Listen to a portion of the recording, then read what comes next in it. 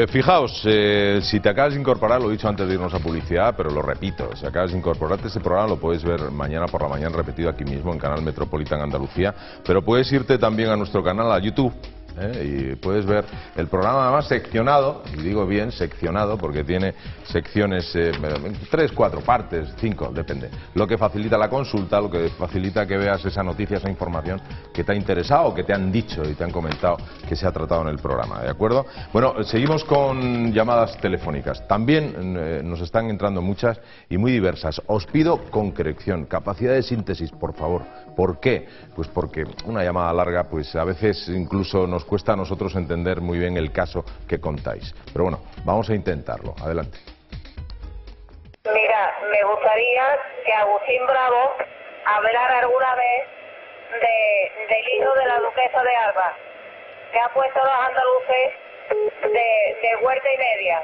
Y cuando él está comiendo de, lo- de los andaluces, más el dinero que le manda, la comunidad europea a la madre que no se merece ni un duro. Ese dinero debe de ser para los andaluces, que son los que hemos trabajado y hemos dado la cara siempre en Andalucía. Se lo dice Agustín Bravo que hable un día de ese señorito andaluz que va siempre montado en el caballo. Y muchísimas gracias. Pues querida amiga, eh, hablamos ahora mismo y le dedicamos, eh, bueno, tampoco le podemos dedicar mucho, pero sí, sí hablamos. No sí va hablamos siempre a caballo, ¿no? Bueno, Bueno, es probable. lo- lo a lo no mejor ella lo ha visto siempre a caballo. Bueno, en ¿no? cualquier caso, eh, Bromas aparte, eh, yo a mí me gustaría, yo le conozco al de Madrid, de, de saludarle y hace muchos años, etcétera, etcétera. Lo que hizo el otro día en, en la sexta eh, fue meter la pata hasta el corvejón. Yo creo que yo no sé ni qué, qué estaba pensando para, dec- para decir semejante eh, gravedad, porque lo que dijo era muy grave y efectivamente lo que han surgido ahora son voces pues a la, a la- a la defensiva y con mucha razón y mucho motivo. ¿no? Él que va a tener que hablar de Andalucía y de los andaluces más que dar las gracias, creo yo, Claro. pues por Dar porque, porque siga- existimos Y que, si- y que a ver, siga y existiendo poco más, que venga a la feria, que se divierta, que haga lo que quiera, pero que no haga declaraciones de ese tipo. Y esta, esta, esta, esta opinión la abierto yo eh, en, en mi propio nombre, en el, nombre de Agustín Bravo. Cayetano, relájate. Dime. Además, la señora te preguntaba a ti, ¿eh? Que No, no, a ver si puede Agustín Bravo hablar de este tema. Hablar de este tema. Sí, sí, se refiere al programa. se refiere Pero vamos, programa. es evidente que la, la- la declaración de Cayetano era inoportuna, Hmm. equivocada, es evidente, y lo mejor que se le puede decir es que ha rectificado. Claro, claro.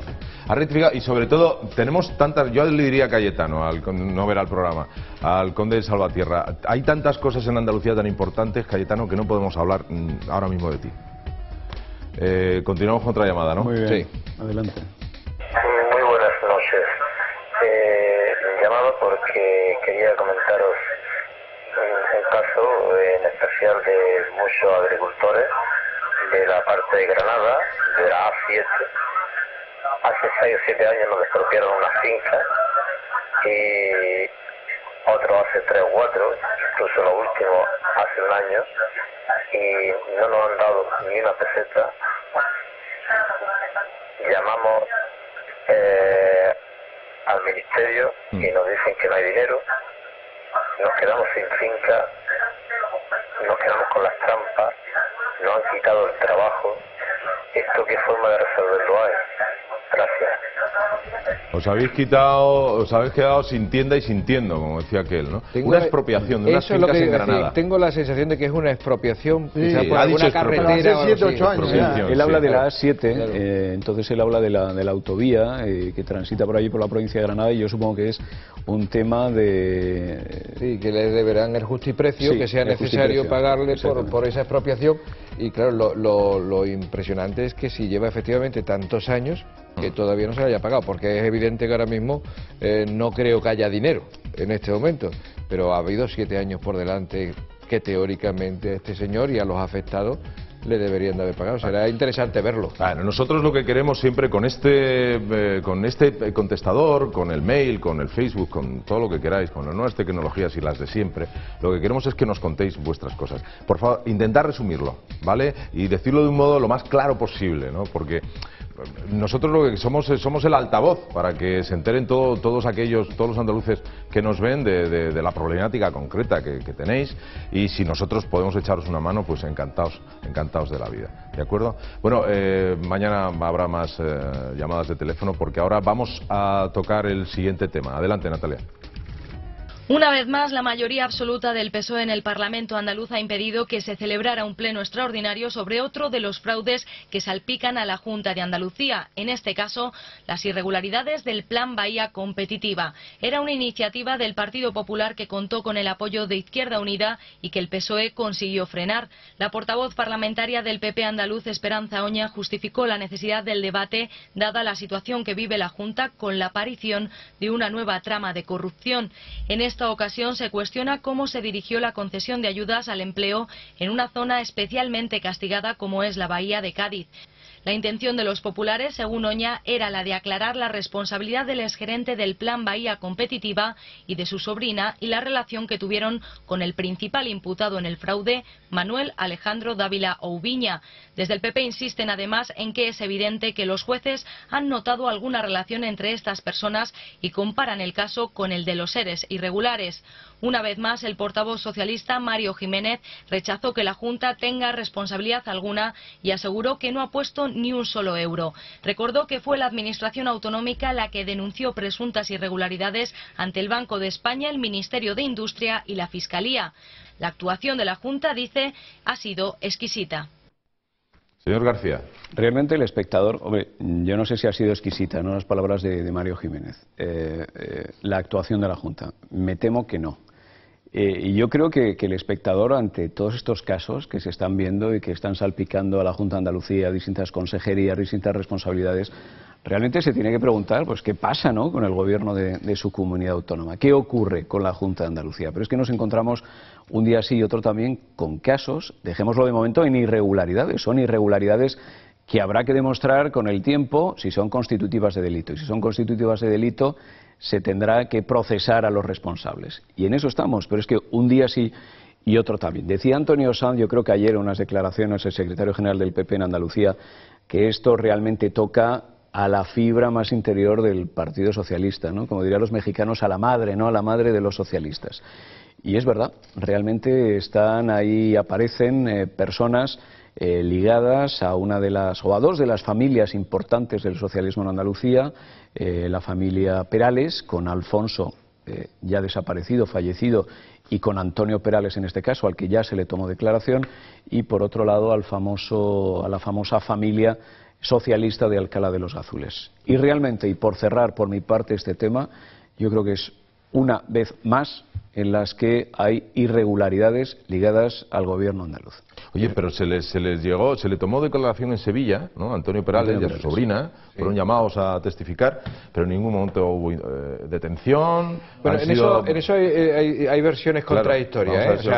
hay algunos periódicos han hablado de detención, otros periódicos han hablado de arresto y otros y Antonio Perales creo que le leí unas declaraciones en las que decía que no había sido arrestado para nada. ni siquiera imputado. No, no, no, que yo sepa no ha sido arrestado. que declaró y punto. se le tomó declaración y punto, pero no como imputado, según dice Antonio Perales. ¿Eso no hay forma de saberlo? Imputado? Ni siquiera como imputado. No, no, no, no, está imputado. bueno, y desde luego eh, yo creo que no, lo de arresto y eso y detención sí hay que descartarlo. ¿eh? Y la imputación yo tampoco... Hombre, arresto y detención evidentemente, puesto que no. ha quedado a disposición lo importante yo creo que más que lo de... A, mí me parece en este... A mí este caso me parece especialmente repugnante, ¿no? Porque porque mm, es decir, siempre está mal que se lleve alguien eh, algo, ¿no? O, o, dinero del cajón, como se dice por aquí, ¿no? pero que en este caso se utilice el dinero que se dota para mm, ayudar a los que se están quedando sin trabajo, a, a, las zonas más deprimidas, es decir, a intentar fomentar empleo y que, y que la gente vuelva a trabajar. ¿no? Hay un señor con, con 50 años, con 47, 45, que se queda sin empleo, pero con todas las cargas familiares. Eso es, eso es una tragedia. ¿eh? Sí, yo, yo me estoy acordando todavía de los primeros correos que has leído tú, Agustín, que eran dramáticos. A mí me parecía, se veía la gente Para mí han marcado el resto del programa. A, mí ¿eh? también. Es yo, sinceramente, ya no, no, no levanto cabeza porque estoy eh, pensando y reflexionando en los correos que nos enviáis y que, o sea, transmiten también la realidad de lo que pasa, que nosotros aquí podemos intentar eh, comunicarla, pero cuando recibes un correo y te dicen, Agustín, esto es lo que pasa, mi hijo de siete años, no le puedo comprar nada, es, entonces cuando te vienes abajo. Entonces cuando te entras, como dice Juan Carlos muchas veces, pues te, dan, te cabreas un poquito, te enfadas. ¿no? Los, correos iniciales ah, para mí han estado geniales para lo que querían transmitir, yo creo que lo han conseguido. ¿no? Entonces, que haya personas que se aprovechen de eso, de esta desgracia de otros, para enriquecerse o para hacerlo, eso me parece especialmente repugnante. Entonces, eh, a lo que hay que ir, eh, pues me figuro que habrá lo mismo que hemos dicho antes, cada, caso tiene lo mismo, ¿no?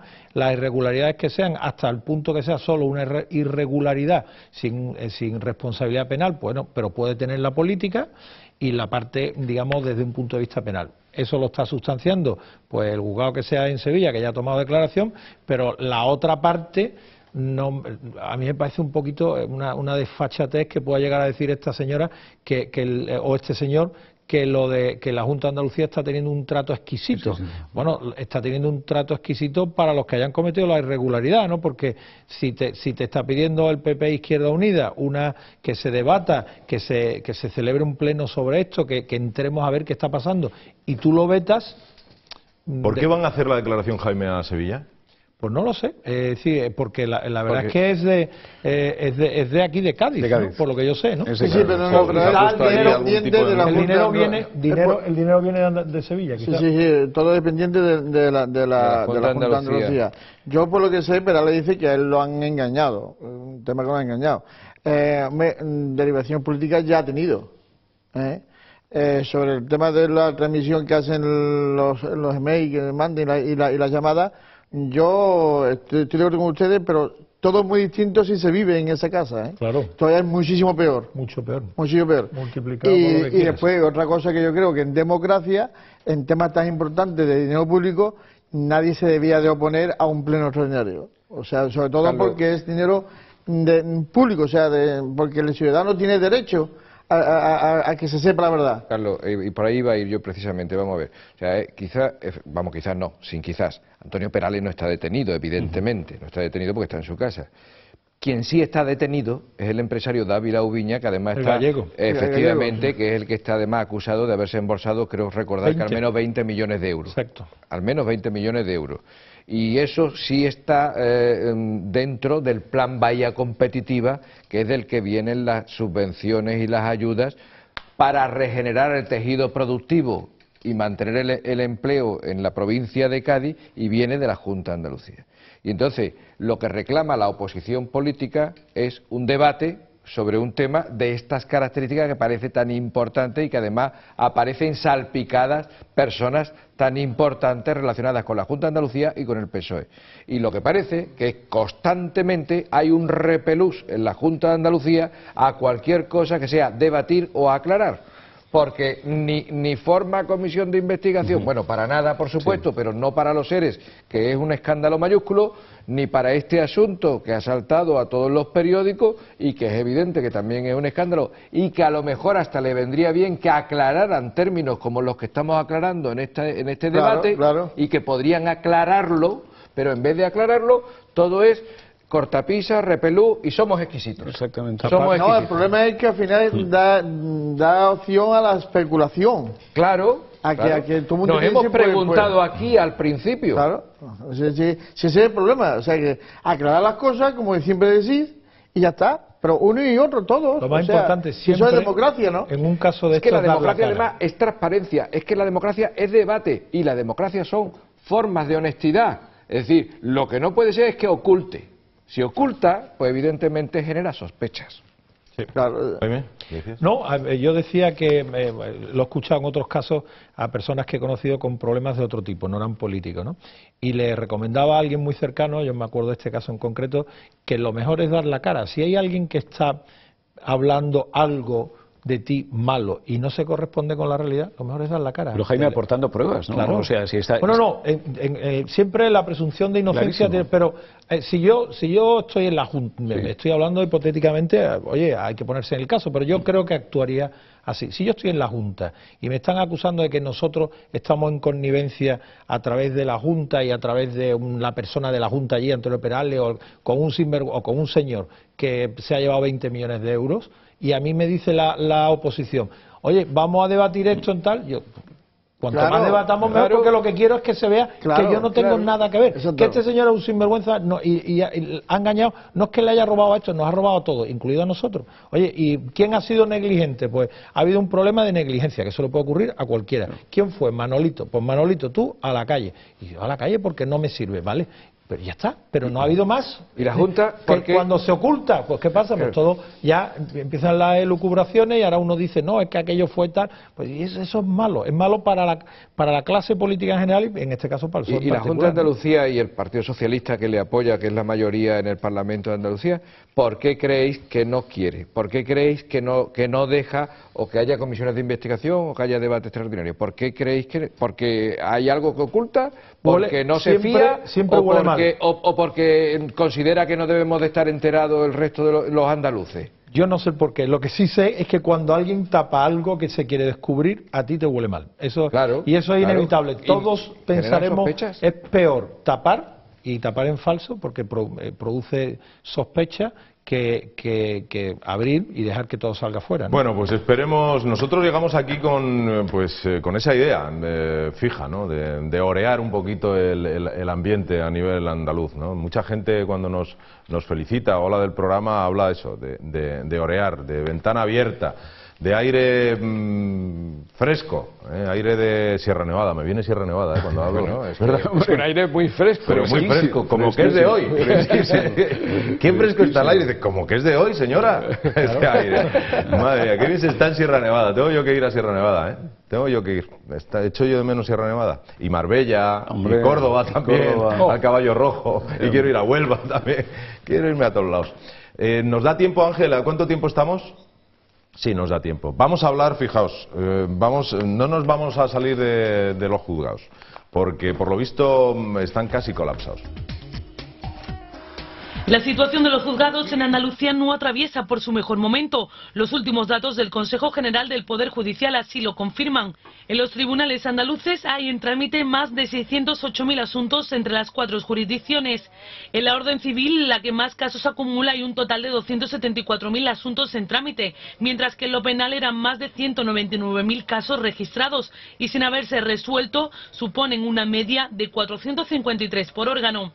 Pero lo peor es que la situación no tiene muchos visos de resolverse si se tiene en cuenta que después del recorte de número de órganos, la previsión para 2012 es igual de pesimista.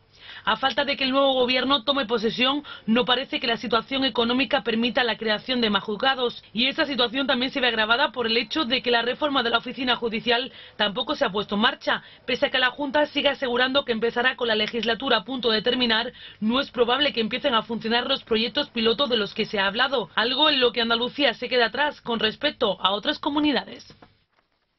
Don Jaime Carvajal. Bueno, pues eh, es algo que parece o que sufrimos o que conocemos todos, ¿no? Los, juzgados están saturados, ¿no? Eso, eh, hay una cifra, tienen, aquí en Andalucía tenemos más de 600.000 asuntos y quedan 62.000 sentencias sin ejecutar.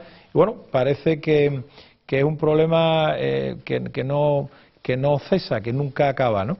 evidentemente no nos podemos conformar con esto, yo creo que, en esto no, no se conforma nadie, pero eh, hay, hay, yo, hay una cosa que la veo complicada, porque no es solo cuestión de normas, es decir, vamos a cambiar las normas, esta oficina judicial que parece que se iba a crear, sobre la que se habla siempre y que llevamos ocho o diez años hablando de ella, pero no se termina de crear, la oficina judicial al final en lo que consiste en que en, cada, en lugar de cómo funcionamos actualmente, que cada juzgado un departamento estanco, es como una isla que no se comunica con, con la al lado, ahí viene el problema del desgraciado eh, problema que hubo con lo de Mariluz Cortés, ¿no? Es decir, tú puedes estar buscando en el juzgado de Jerez a un, a un señor por, porque tiene una denuncia y, si, y, resulta que en el de Cádiz está y no lo encuentra, no lo pueden localizar y en el de Cádiz lo están jugando en ese momento por desahucio y lo tienen localizado. Tremendo. Y, sin embargo no se sabe, ¿no? Me gustaría que sintetizarais mucho porque nos queda pues muy rápidamente. Oficinas judiciales una idea, como ha dicho, eh, para llevar la, digamos la gestión que no que, que alivia al juez de su verdadera función, que es poner sentencias y ver las causas. Punto uno. Punto dos. Eso es del final de la etapa Aznar, si mal no recuerdo. queda, queda invocada y no se desarrolla a lo largo de todas las dos legislaturas de Zapatero, mm. que habría venido a solucionar muchas cosas. El problema es mucho más grave, hay hasta ocho sistemas informáticos distintos en la justicia española y una idea titular final. Eh, mm. Una justicia que no funciona es una injusticia. Bueno, nos tenemos que ir, nos tenemos que marchar. Muchísimas gracias, Carlos. Gracias y felicidades. Feliz, feliz Navidad. Que sea ¿eh? bueno. Si no nos vemos que vuelva, vuelvas de Italia. Que en saliendo de aquí se va a Italia. Yo no sé qué tienes allí en Italia, pero ¿tienes lía una? ¿Tienes lía una en Italia? Una, una, una. pasta. de pasta. Molta pasta, como dice el otro. Molta pasta, una dice. Jaime, de verdad, feliz Navidad, muchísimas gracias. Igualmente. Eh, saludas a la familia. Fran. Feliz Navidad. Feliz para todos. Eh, Navidad para todos y buen viaje. Y en Marbella, saluda a la familia. Gracias. Juan Carlos, hasta mañana. Feliz Navidad. Porque mañana nos vemos. A ti también te quiero. yo no los veo, a ti pero te tú aquí, tú aquí conmigo al pie del cañón. Eh, no me quiero ir sin decir, leer este mail. Eh, que paséis una muy feliz Navidad que el próximo año, eso nos lo dice Joaquín Ruiz Hurtado, que el próximo año veamos una Andalucía limpia de cortijeros y corruptos por la derogación de la Ley 1-2011, que es la reorganización del sector público andaluz, por una administración libre, limpia y transparente, por lo público, no al enchufismo. Y termina diciendo por Andalucía, por España y por la humanidad, como dice el himno andaluz.